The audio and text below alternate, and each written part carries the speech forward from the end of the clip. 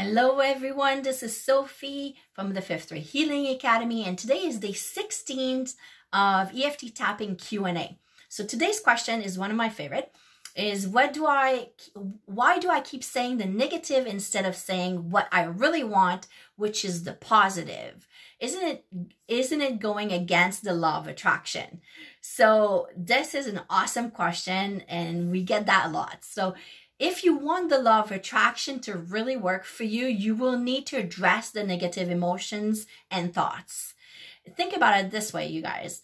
It is not because you're not saying it out loud that you're not thinking it, therefore, that you're not vibrating it.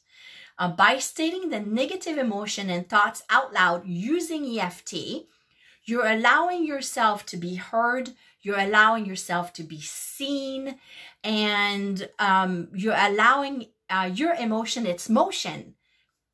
Ooh, it's awesome. Okay, so if the tapping is a great thought interrupter, so if you have those negative loops, EFT tapping helps you release those and stop those negative loops. You're addressing what's coming up for you so you can move through it better then what happens is you're stating the negative through tapping and then once your mind is calmer and more open to possibilities you can now bring in and embody the positive emotions and the affirmations and all feel that good things and then vibrate it.